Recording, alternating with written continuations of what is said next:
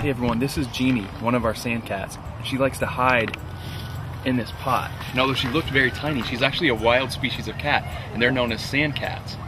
We got to do something very cool for our sand cats recently, and we had a donor, and we want to say thanks to this donor. Her name is Lindsay McCann, and what she did, it was her birthday, and instead of getting presents, she asked everyone to give some money to help the cats at Big Cat Rescue.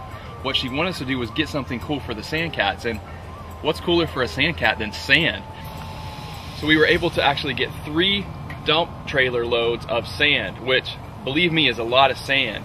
And thanks to the hard work of our volunteers, because believe it or not, sand is really heavy, especially the sand we had, which was a little bit damp, so that made it even heavier.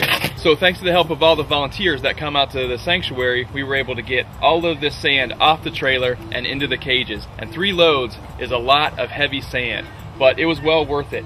And we have a male named Canyon, and we have a female named Genie and they are brother and sister and as, as with most cats they don't get along so they don't live together. So they live in two separate parts of the sanctuary. And if you've ever seen a sand cat in captivity which there aren't very many they're usually in a smaller usually a nocturnal mammal house or in a small area where they're really just in a, in a glass enclosure. And I think a lot of people think because they are so small that they don't need a lot of room. But you know what?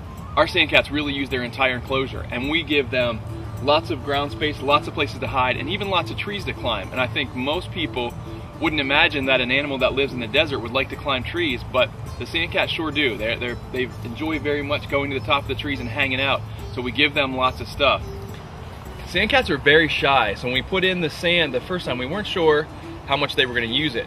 But the very cool thing is, the next morning, because again, sand cats are very active at night, so the next morning, we saw little sandcat footprints covering all the sand in their enclosure and they had actually explored every nook and cranny and because we put this sand in there it almost was like getting a new habitat for the sandcats.